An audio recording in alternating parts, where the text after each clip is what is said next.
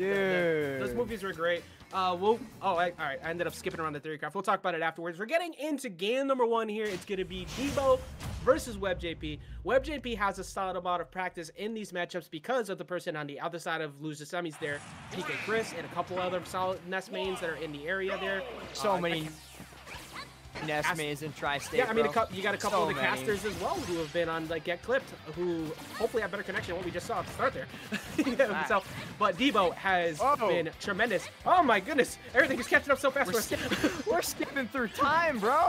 Luckily, to Twitch didn't see that, but we just saw the fastest frames I've ever done seen. And this is where, so a big thing in this matchup is how Webb understands how Debo wants. you could speed up time. True, true, true. uh, Webb needs to be able to consistently beat Debo at a disadvantage. That's a big way on how you beat Ness in this matchup. And also, obviously, forcing them low so you can get them at ledge, maybe catch them with a flip kick or a paralyzer. Uh, and you see Debo is putting out so many solidly positioned aerials that it makes it so every time Webb would maybe want a short hop there or short hop for, uh, forward air, he's getting beat. And that is how you need to win this matchup as well if you're the Ness player.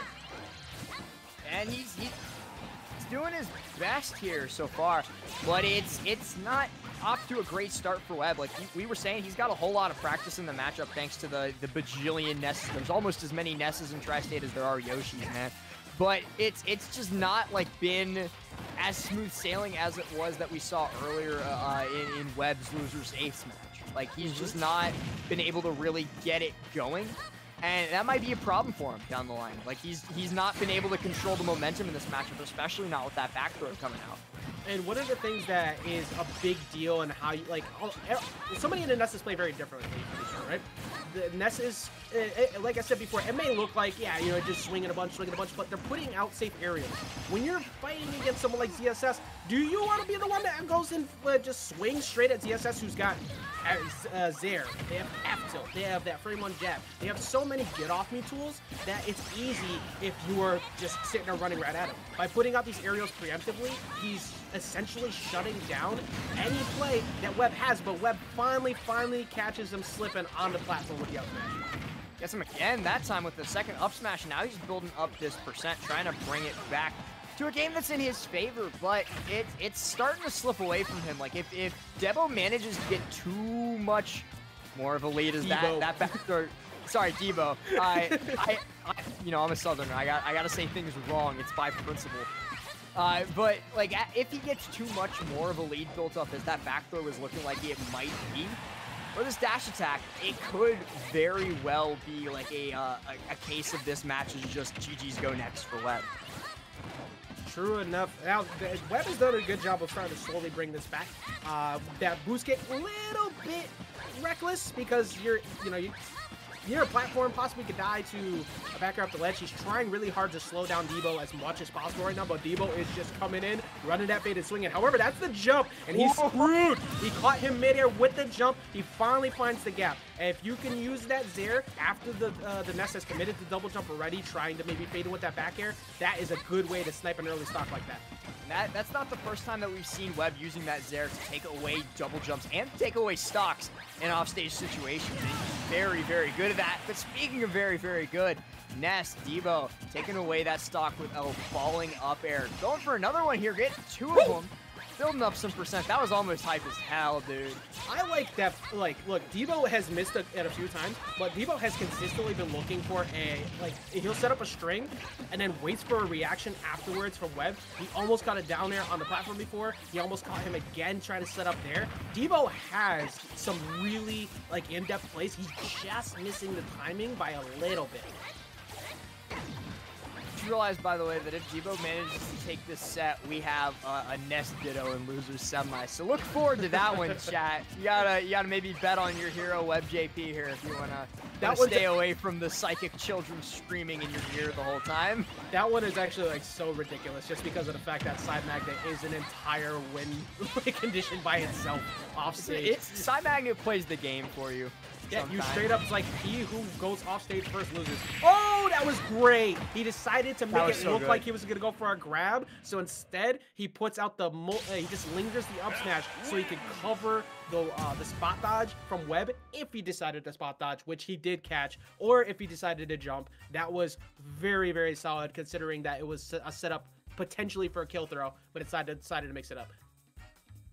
Right right now that was actually actually one of the best like kill confirms that ness has in a lot of these situations is just putting pressure on your shield with his up smash. It's it's, it's something that most characters don't have an option out of because once it pokes you you're just dead. Yeah, it's it's so similar It's like you see a lot of people who will get caught, uh, at least early in a match, by like say uh, a charging F smash from Corrin.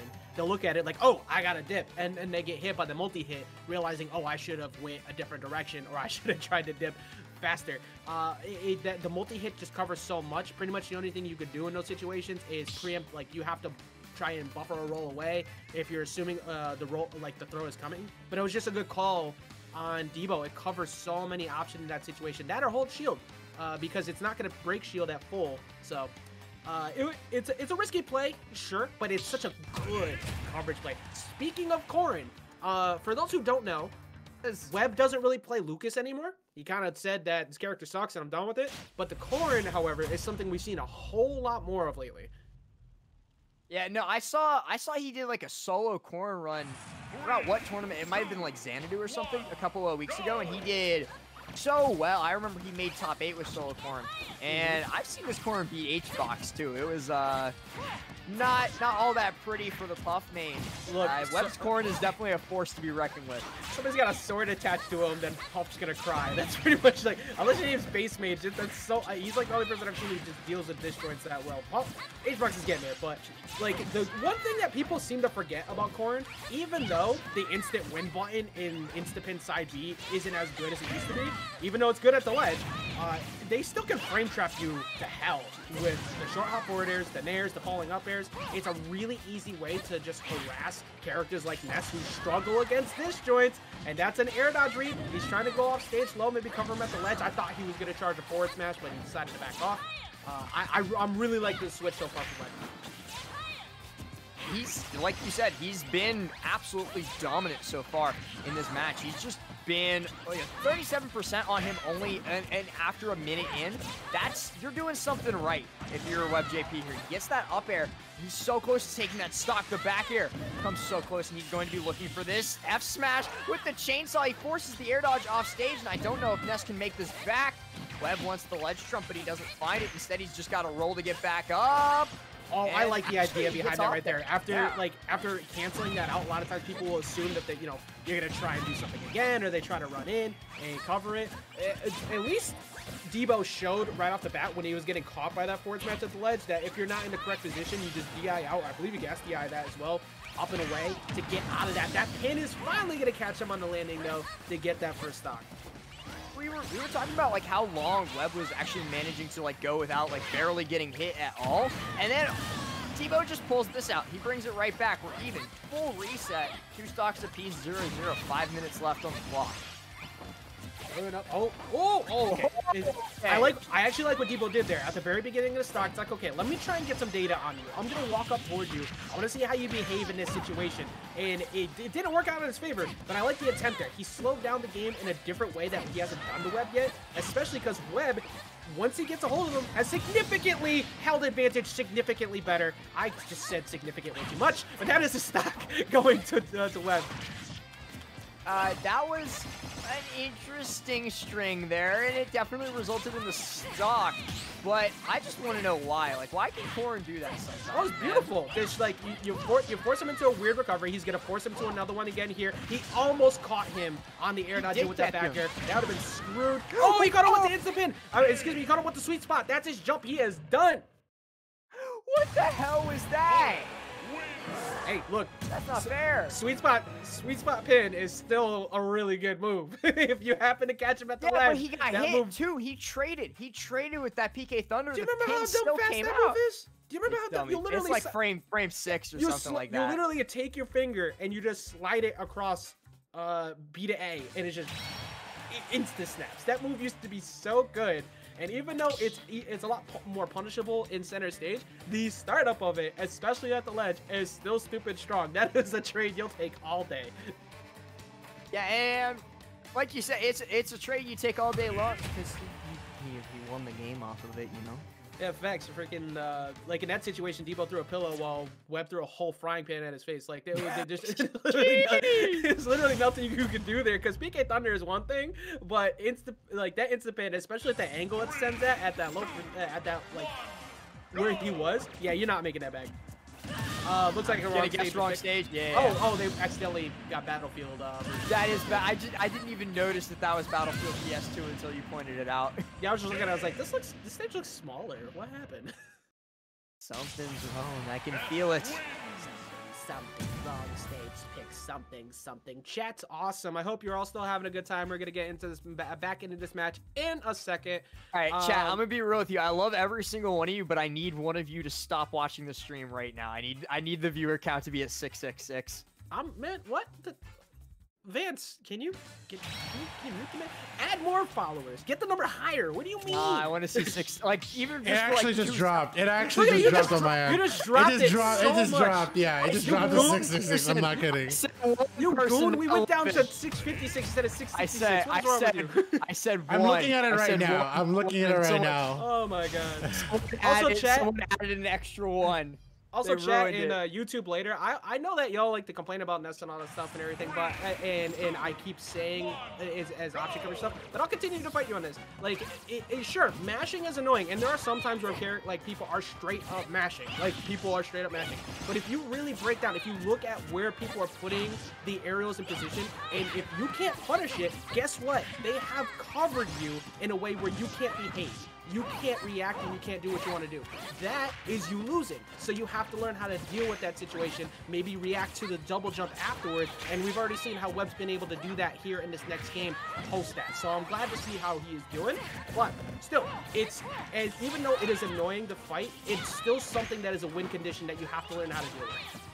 Yeah, and right now, Webb is just, like like we said, he's abusing that win con. He gets the chainsaw on the shield there, forces Debo to drop, and gets a footstool out of it, nothing happens. I think that was an accidental uh, footstool. So he is going to, like, just reset back to neutral, Debo is Debo is dangerously close to losing this stock. True enough. Also, I, I gotta I gotta put something. Some uh, somebody just funny. It's like true. There's mashing, and then there's mashing. Like it, it, actually, something I always bring up too. If uh, Larry Lurr said it best, top players are just mashers who get away with it. Like that, that's top, actually ma top a majority players, of it. No, no, no, it's it's mashing but with a purpose. Exactly. Bro. That that's the whole joke behind it. It it is it, it, it's understanding why you're putting the hitboxes out versus just swinging. And that is a that's kind of a just swinging moment right there. You're up close to the next uh, the Ness, and you put out the instant pin. It's a good way to cover, and that up air short hop is very fast. It keeps you safe. That was really solid. And Debo's actually struggling a little bit, even though he's keeping it close. He's been consistently behind the percent because he's got to box his way past this sword, which is making a huge difference in this matchup. He's just having having so much trouble. And, and we've talked about it previously, you and me, that Ness always struggles with disjoints. It's the same thing as Puff, honestly. Like, all of Ness's worst matchups, Ike, Corrin, uh, Roy and Chrom, like all the all the big swordies, Lucina and Marth too. All the big disjointed swordies are the ones that Ness struggles most with because they've got hitboxes that they can throw out that are some of the fewest in the games that can beat Ness's districts. Yeah, just having that range to play with. And actually, Roy, I need to double check on the Roy one because uh, it, it, they both become more of a brawler archetype in that one. oh, good, there you go. He did it again. He did, the the way he closed out that other game where he put out the up smash directly in front of Webb because the throw is very obvious there. So what do you do instead? You put the up smash out because you cover spot dodge, you cover jump, and you cover if they roll in. Yeah, Debo very, very quickly bringing this nearly back to even. That's one of the things that I, I, have to commend him a whole lot on, is he doesn't really let a lead get to him. He just goes, okay, I'm Ness, I'm gonna play my game, I'm just vibing.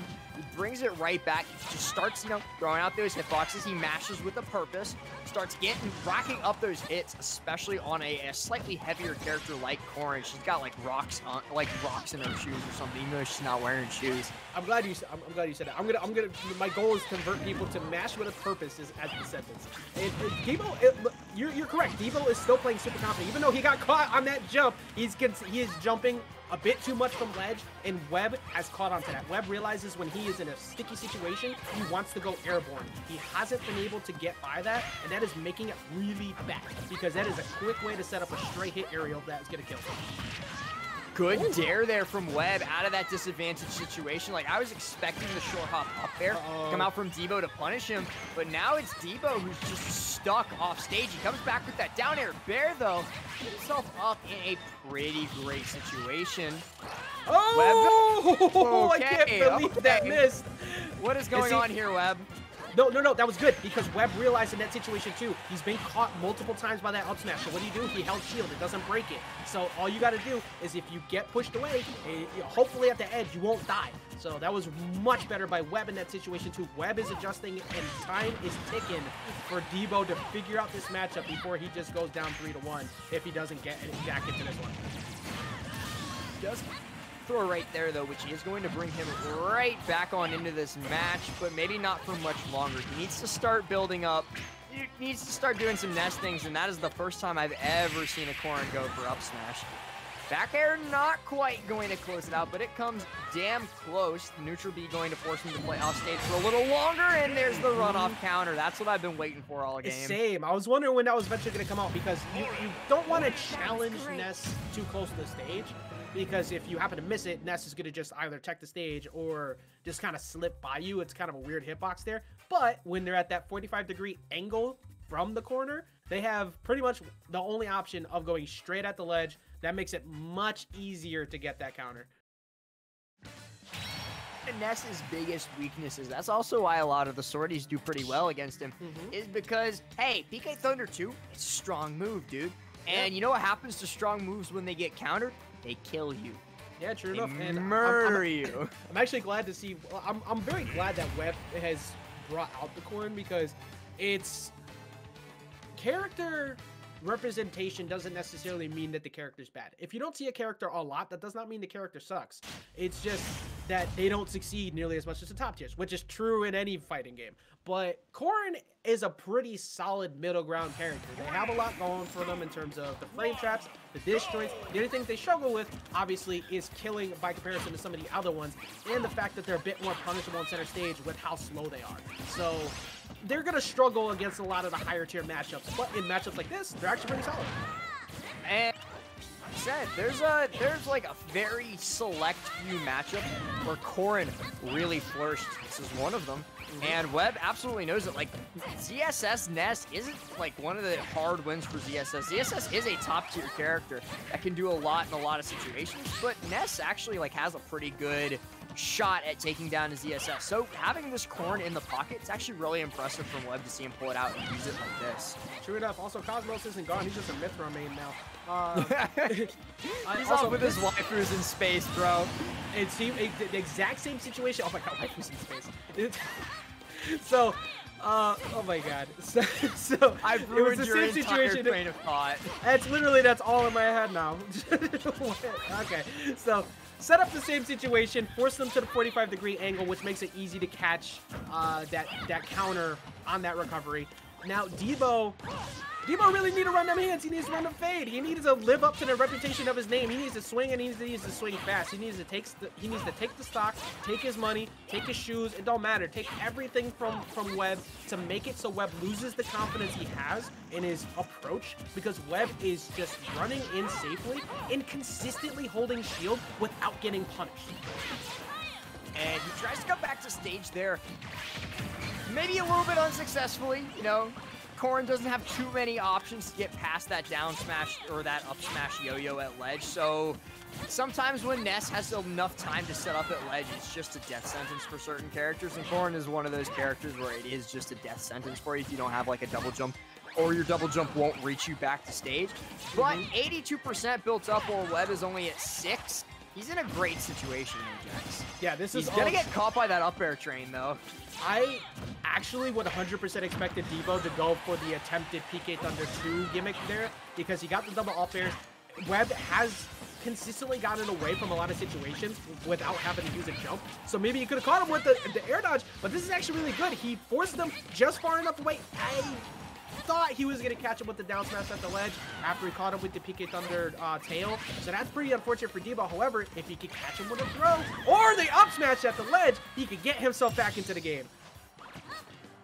Oh, and he's going to come back to stage. I thought I thought for a second, like I saw the future eventuality with the time stone, that Debo was going to go for that jump fair and get caught by the up air from Webb, but it didn't quite happen. And now Debo making a case for himself to take this to game five. He's starting to figure out the corn matchup, which, you know, it's actually really impressive to see him doing it on the fly here. Because mm-hmm. more often than not, how, how much how much top level practice are you going to get against good corns, Ajax? Like none. They're, they're, they're, they're a dying minimal. breed.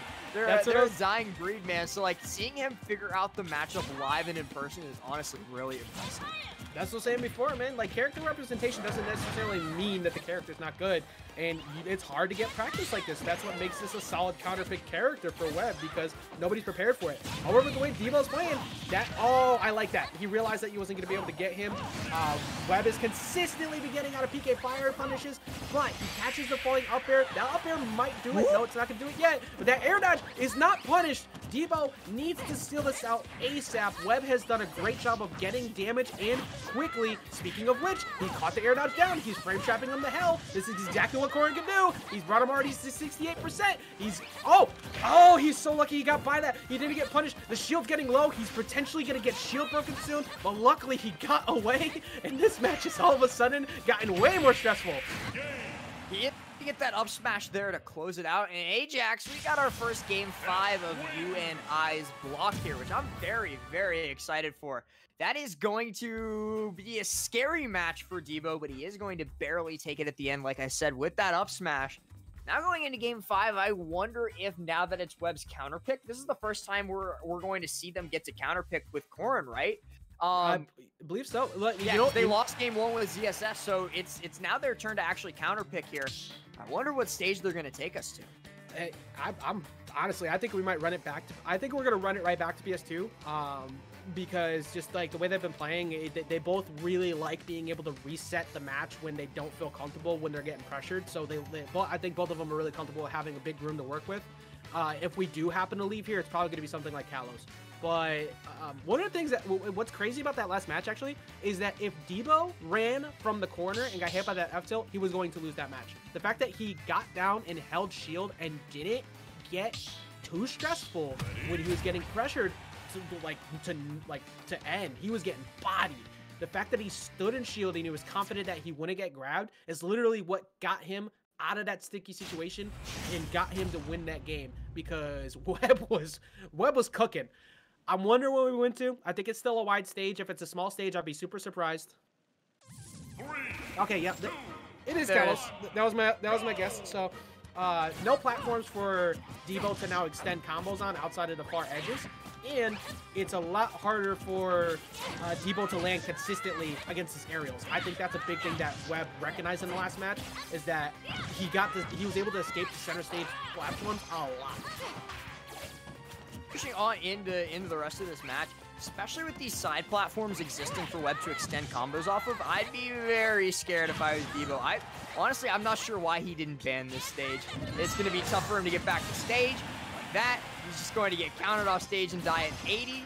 It's going to be tough you. for him to play neutral on stage without the platforms to help him. It's going to be, it's just tough all around. This is an awful stage for Ness. I'm telling you, man, people who haven't played Webb before don't understand that they're setting themselves up to be counterpicked when they pick their stages because they look at the ZSS and they go, okay, I don't want platforms, so I'm going to leave the wide stages open. I'm going to leave the, the FD. I'm going to leave the Kalos. But Webb loves it. Webb is so good on these wider stages that it actually plays into his advantage. So it, it's it's kind of like a, a, little mini game counter like, like a little mini game matchup that he's winning at the stage pick, and he's consistently pressuring Debo again. A big part of why. Where has Debo been able to escape to? He's got no center stage platforms, and these outer edge ones just puts him in a position to get pressure. I mean, he escapes to the blast zone, like right there with that back air. That's the only time he has respite from the pressure that Webb is putting on him him. This is so scary, and he doesn't even die from that. He uses the wall pin. That's another that's another huge advantage of Kalos for WebbJP here, is that he can use the wall pins to basically get back from what otherwise would be an unrecoverable situation. He just mm-hmm. refuses to die. Exactly, and even for Debo, like I was feeling good in that last game about his adjustments, but every time Debo is getting pushed in the corner, he's basically playing backwards. But that back throw, speaking of backwards, is going to get him a W on the board at least with the first stock. He has to get he, he he's he just straight up needs a body web. That's like the best way I could put it. He ha he has to get a really dominant stock here. Speaking of which, he's gonna look for the air dodge out. No, he he was out of position. I think he was 100% hunting for the down air. But look at it. He's getting confident. He's pushing in, and he's trying really hard to snipe this stock because if he can take it around now, he's still in this game. Gonna put the roll in, but Webb is going to find that back air to at least finally get himself out of disadvantage but it might actually just recontinue. And this is what Debo needs to do with this stage, is he needs to put Webb, like Webb's been doing a great job of putting him on the platform, putting him up on that pedestal and then promptly knocking him down. Debo mm-hmm. needs to do the same thing. He needs to abuse Ness's busted back air up on those top platforms, but he might not get the chance if Webb can get the stock here. Yep, that's going to be it. That's, that's Webb moving on to loser semis. That is textbook coverage and how you deal with that recovery in this matchup. He consistently called out the jump with that back air, which pushed him in a position where, once again, once